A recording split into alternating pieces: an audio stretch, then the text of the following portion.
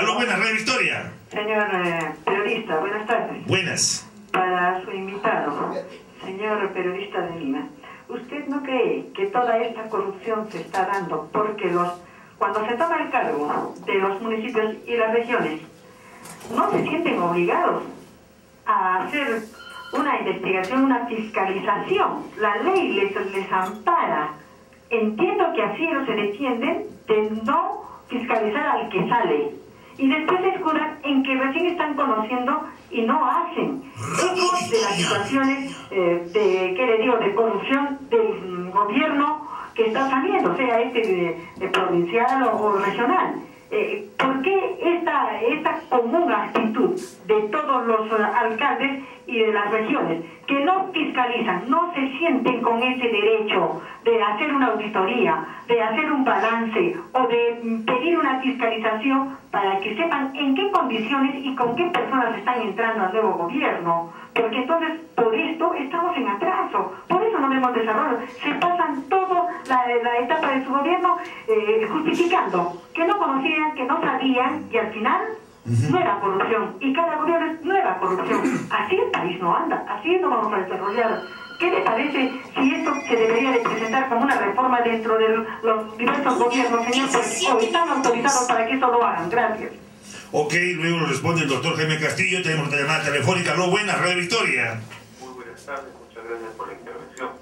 Bueno, con respecto a esta lucha contra la corrupción, eh, de la idea, mire, que a las personas o las nuevas personas que vayan a ingresar ahora en este periodo 2011, ya sea tanto de las regiones, ya sea tanto de los municipios, miren, simplemente cuando se le delega el poder a estas personas y este poder se amplifica, llamémoslo en el sentido de que si tiene sus valores correctamente habrá prosperidad, pero si esta persona carece de valores con decir tiene errores que magnifican el poder, simplemente lo va a magnificar.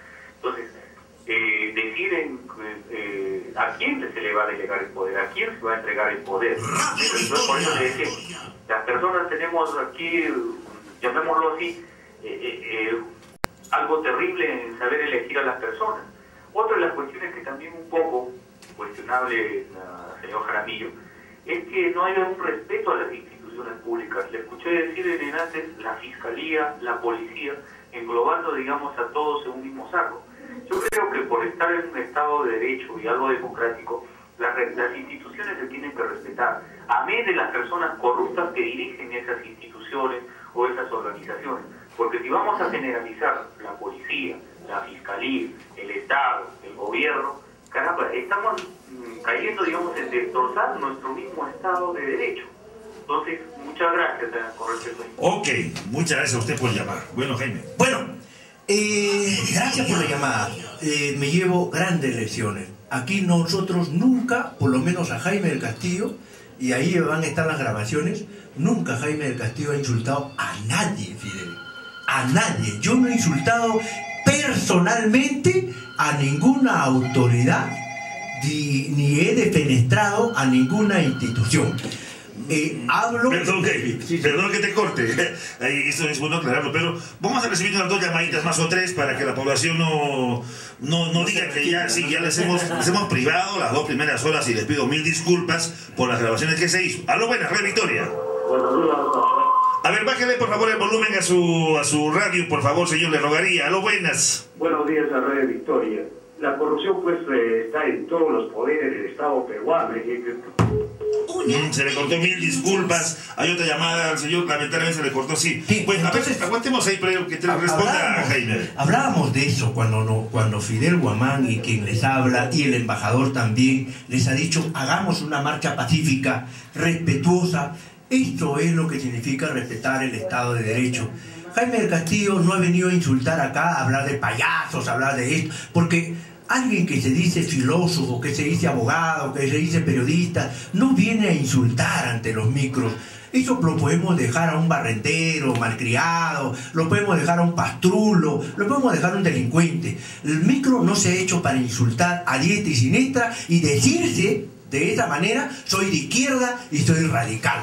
Tampoco venimos, podemos aceptar, por lo menos yo no voy a aceptar que cualquier persona venga a decir acá queremos un cambio revolucionario. ¿Qué tenemos que significar por eso? ¿Sangre nuevamente? ¿Queremos que Sendero Luminoso nuevamente surja en este país? No, yo no estoy de acuerdo con ese tipo de lenguaje eh, eh, ese lenguaje feroz, ese lenguaje agresivo. No se necesita ser agresivo, necesita ser ofensivo para denunciar la corrupción. Para denunciar la corrupción se necesita dos cosas, tener integridad moral y ética, saber decir la verdad, ¿no es cierto? Y tener la ley en la mano y, decirlo con serenidad, porque no se necesita gritar para... eh, eh, claro que la indignación a veces nos gana, pero tenemos que mantener, y Jaime Castillo trata de hacer, lograr mantener la ecuanimidad y la racionalidad. A todos los izquierdistas de Arequipa, mi respeto, pero también mi, mi execración a todos aquellos que conducen mal al pueblo de Arequipa en materia de izquierda, porque aquí queremos un planteamiento claro. ¿Qué plantea la izquierda? Es lo que le dije al señor Lan. ¿No es cierto? Can o, la- o Lan. Lora. ¿Qué plantea? ¿No? Lora, Lora Can. No es cuestión, señor, de que vengan a insultar aquí y allá y acaban de informarme por varias llamadas eh, que proceda. Sí, sí, sí, que todavía no, no hemos escuchado, oye, Jaime, no se ha escuchado la forma como habla el señor. Todavía el día de hoy ha sido pausado. la Así me han sí, dicho, sí. así me han dicho. Por eso que a veces yo ya por el exceso de las groserías, a veces no tengo el gusto de traerlo a la radio. Bueno, el día de hoy ha estado presente aquí. Y dice que es filósofo, ¿no? Profesor universitario. Dios mío. En el teléfono, buenas, Radio Victoria. Teléfono, buenas, Radio Victoria. Aló amigos de la historia, muy buenas tardes. Con el mayor respeto, yo creo que todo parte por decir las cosas como son. La verdad es la verdad. No necesitamos dorarla, no necesitamos adornarla, no necesitamos, simplemente necesitamos decir la verdad como es. Entonces, mis amigos, lo que yo quiero es lo siguiente. La situación de la corrupción viene pues de lo siguiente, del modelo de desarrollo, del modelo de, de sociedad que nos han impuesto a la fuerza. Miren, aquí la cosa es sencilla. Este modelo de sociedad no nos ha conducido a nada. Este modelo de sociedad nos está conduciendo al colapso, nos está, nos está conduciendo al suicidio de la humanidad. En ese sentido, nosotros pensamos de que aquí se trata de valores, y los valores simplemente vienen de la realidad. En ese sentido, yo lo que quiero es de que mañana, efectivamente, los que participan, participan, y los que no también, con el respeto debido. Nada más, amigos. Ok, gracias, es la libertad de la persona. Cualquier persona está libre en elegir de participar o no hacerlo. Habló en el teléfono, buenas, Radio Victoria. Señor, señor muy buenas tardes. Buenas, señor, buenas. Buenas tardes al señor de Castillo, de, de- que- Buenas tardes, de la señor. República. Y señor, la anterior llamada dice, señor, ya conocemos esa portada, seguro del APRA, donde diferentes...